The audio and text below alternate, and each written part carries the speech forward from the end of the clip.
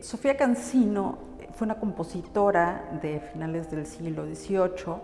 Ella se caracterizó por ser la primera mujer en dirigir una orquesta sinfónica en todo el territorio nacional, en componer una sinfonía, en saber que compuso una sinfonía.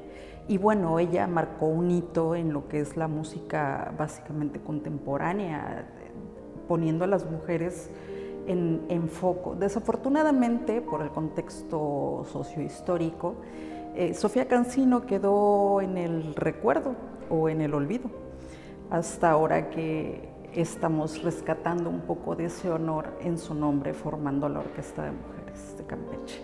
La idea de crear la Orquesta Sofía Cancino es muy curiosa.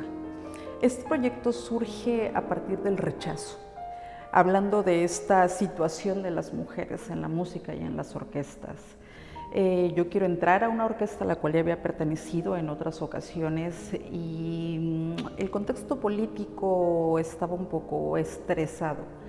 Entonces yo solicito eh, audición, pero no se acostumbra a hacer audiciones en esta orquesta y me dijeron que esperara. Yo no me caracterizo mucho por esperar tanto. Entonces mi ansiedad y mis ganas y mi necesidad de expresar la música me hicieron hablar con la maestra Ana María y proponerle el proyecto.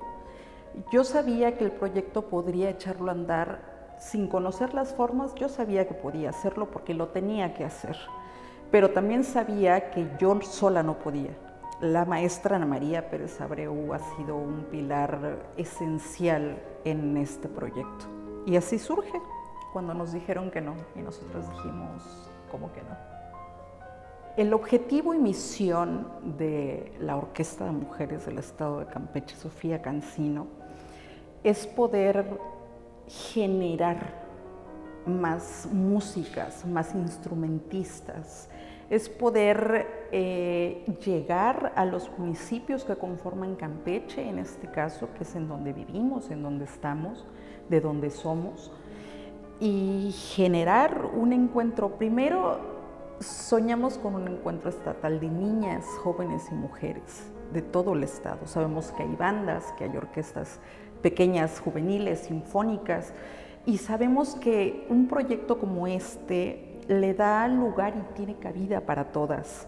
Y eso es lo que queremos que sepan, que hay aquí un lugar al cual pueden pertenecer solo deseándolo y trabajando por eso.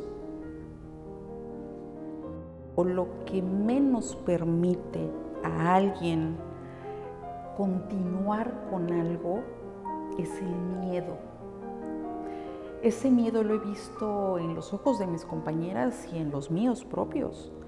El miedo, el miedo al mm, no me sale